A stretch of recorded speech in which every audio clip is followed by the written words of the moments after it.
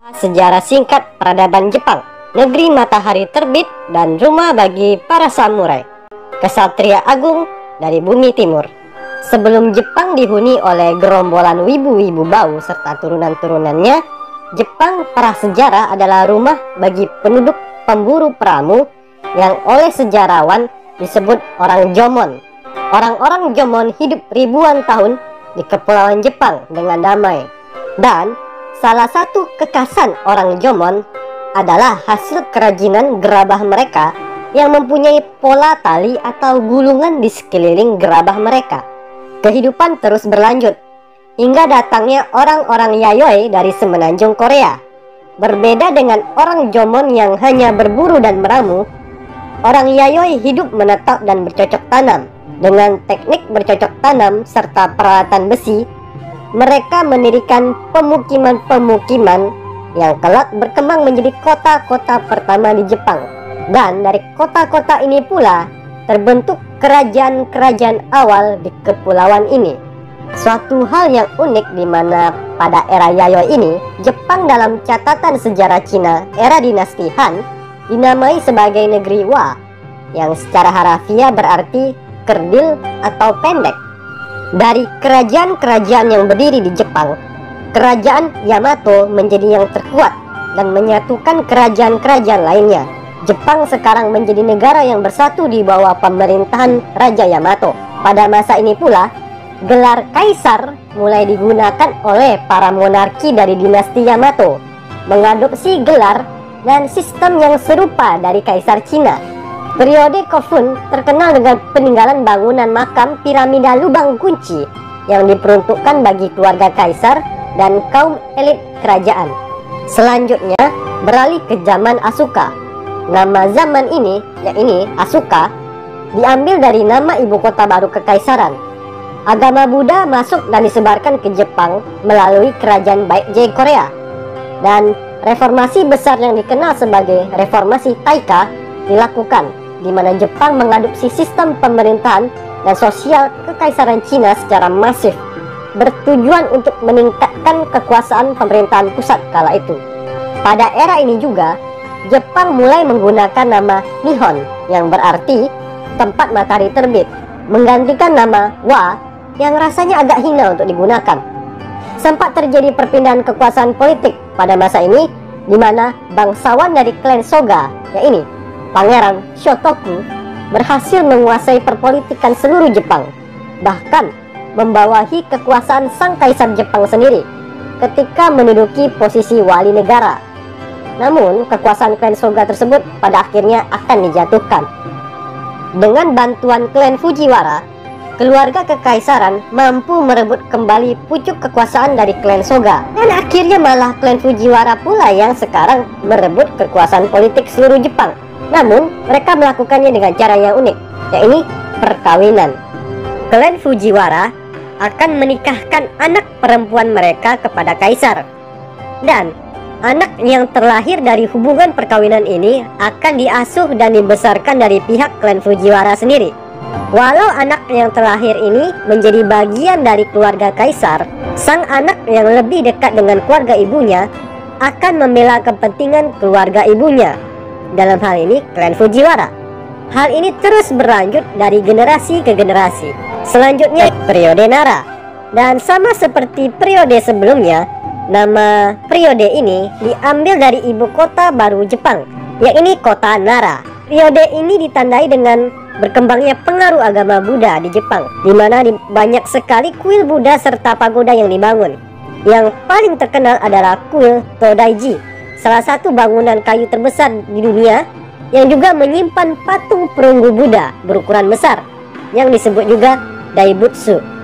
Selanjutnya kita sampai pada periode Heian dan tidak jauh berbeda pula dengan periode-periode sebelumnya. Jepang lagi-lagi pindah ibu kota dari kota Nara ke kota Heian Kyo yang sekarang menjadi kota Kyoto modern. Pada masa ini, Klan Fujiwara yang kita bahas sebelumnya berada pada masa terkuatnya dengan taktik perkawinan politik mereka. Ada suatu catatan penting pada masa Heian, di mana pada periode ini samurai yang kita kenal mulai muncul ke dalam sejarah. Kaisar Kanmu mencoba memperluas pengaruh kekaisarannya dengan menginvasi wilayah utara Pulau Honshu. Wilayah ini masih ditempati oleh masyarakat berburu meramu biadab yang dikenal sebagai orang-orang emisi. Orang-orang emisi menggunakan taktik serang dan lari atau hit and run dalam bahasa Inggris, di mana mereka menggunakan serangan mendadak, menyerang setelah mungkin, dan kemudian lari menghindari kejaran musuh agar terhindar dari pertempuran skala besar. Pasukan emisi secara total adalah pasukan pemanah berkuda. Pasukan Jepang saat itu tidak mampu untuk merespon atau melawan balik pasukan emisi dengan taktik hit and run mereka. Untuk melawan mereka, akhirnya strategi baru digunakan dengan merekrut tentara dari klan-klan setempat di wilayah utara Jepang. Mereka bertarung dengan cara yang sama dengan orang-orang emisi. Yang ini memanah sambil menaiki kuda. Samurai pertama yang sesungguhnya adalah pasukan pemanah berkuda, bukan hanya orang-orang bersenjatakan katana saja. Seperti yang sering kita lihat di media modern sekarang. Epidemik malah menyerang Jepang sekarang penyakit variola atau cacar yang disebut juga smallpox dalam bahasa Inggris menginfeksi warga dan melumpuhkan ekonomi negara. Hal ini menyebabkan krisis internal. Kekuasaan pemerintahan pusat melemah, mengakibatkan bangsawan dan tuan tanah berkompetisi satu sama lain, dan hal terpenting, mereka menyewa para samurai sebagai satuan militer mereka. Hal ini membuat para samurai makin berpengaruh dan kuat dalam kehidupan sosial Jepang. Hingga pada akhirnya muncul dua klan samurai kuat yang mendominasi Jepang, yaitu klan Minamoto dan klan Taira. Dan ya, perihal klan Fujiwara, mereka sudah tidak berdaya lagi karena melemahnya otoritas pemerintahan pusat membuat pengaruh mereka tak berarti lagi. Klan Minamoto dan klan Taira pada akhirnya saling berperang, berkompetisi untuk menguasai seluruh Jepang Tiga kali perang antara dua klan besar ini terjadi, hingga akhirnya pada perang ketiga yang dikenal juga sebagai Perang Genpei berhasil dimenangkan oleh pihak klan Minamoto.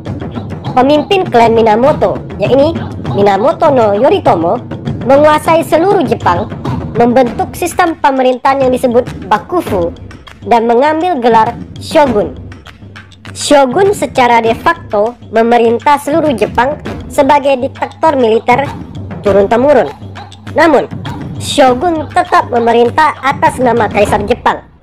Di bawah Shogun terdapat daimyo, gelar setingkat gubernur yang mengatur sebuah provinsi. Dan para daimyo ini pun memperkerjakan samurai sebagai tentara dan juga administrator di wilayah provinsi mereka. Kaisar Jepang tetap tinggal di Kyoto, namun Shogun memerintah di kota Kamakura dan dari nama kota inilah periode Kamakura diambil. Di periode Kamakura inilah Kublai Khan dari dinasti Yuan melancarkan invasi ke Jepang. Namun dengan perlawanan para samurai serta badai taufan dahsyat yang disebut juga kamikaze, Jepang berhasil bertahan. Periode Kamakura berakhir ketika Kaisar Go-Daigo berhasil menumbangkan kekuasaan shogun dalam peristiwa yang kita kenal sebagai restorasi Kenmu. Namun sayang, hal ini hanya bertahan sementara, di mana Ashikaga Takauji dengan dukungan para samurai malah menumbangkan kembali pengaruh Kaisar Go-Daigo dan mendirikan keshogunannya sendiri. Periode Muromachi atau Keshogunan Ashikaga Keshogunan Ashikaga pun pada akhirnya mengalami krisis suksesi kepemimpinan yang memicu sebuah perang singkat yang disebut Perang Onin yang mengakibatkan melemahnya otoritas shogun dan memicu sebuah era baru yang disebut Sengoku Jidai atau disebut juga periode perang antar negara. Para daimyo sekarang berperang satu sama lain untuk menguasai seluruh Jepang. Ini merupakan salah satu atau mungkin periode yang paling terkenal dalam sejarah Jepang di mana samurai mempunyai peranan penting dalam sejarah negara ini. Di masa perang dan kekacauan ini, muncul seorang daimyo dari provinsi Owari bernama Oda Nobunaga yang mampu mempersatukan banyak wilayah. Dengan inovasinya dan keterbukaannya dengan teknologi Eropa waktu itu, ia mampu mengalahkan daimyo-daimyo lainnya. Namun tak disangka, Oda Nobunaga dikhianati oleh jenderalnya sendiri, yakni Akechi Mitsuhide dalam peristiwa insiden Honoji. Nobunaga Oda tewas terbunuh dan kampanye militernya dilanjutkan oleh salah satu jenderalnya yang cerdik, Toyotomi Hideyoshi. Toyotomi akhirnya mampu menguasai seluruh Jepang dan mempersatukannya setelah sekian lama saling berperang. Kemudian Hideyoshi melancarkan invasi ke Korea yang kita kenal sekarang sebagai Perang Imjin. Negara Wibu pernah melancarkan invasi ke negara K-pop dan berkat Laksamana Yi, Korea berhasil memukul mundur invasi para Wibu. Setelah kegagalan invasi tersebut dan meninggalnya Hideyoshi, Jepang malah kembali terpecah ke dalam perang saudara. Hingga pada akhirnya, Ieyasu Tokugawa berhasil mempersatukan Jepang dan membawa stabilitas negara. Ieyasu mendirikan keshogunan Tokugawa dan zaman Edo pun dimulai. Masa awal zaman Edo adalah masa penuh perdamaian dan kemakmuran. Populasi masyarakat Jepang meningkat dan tingkat literasi sangat tinggi pada waktu itu. Seni dan kebudayaan Jepang juga mengalami perkembangan yang pesat. Namun semua hal ini hanya bertahan sementara. Karena kebijakan isolasinya, Jepang mengalami stagnasi di mana tertinggal jauh secara teknologi dibandingkan negara-negara industri lainnya. Pada tahun 1853, perwira tinggi Amerika Serikat Matthew Perry datang ke Jepang untuk melakukan misi perdagangan secara paksa. Jepang akhirnya membuka dirinya terhadap dunia, mengadopsi teknologi Eropa, dan setelah perang saudara terjadi antara faksi pro kaisar dan faksi pro shogun yang dikenal juga sebagai perang Boshin yang dimenangkan oleh kubu faksi pro kaisar, keshogunan Tokugawa berakhir dan restorasi Meiji dimulai, di mana Kaisar Jepang kembali memiliki kekuasaan setelah sekian lama hanya menjadi pemimpin upacara belaka.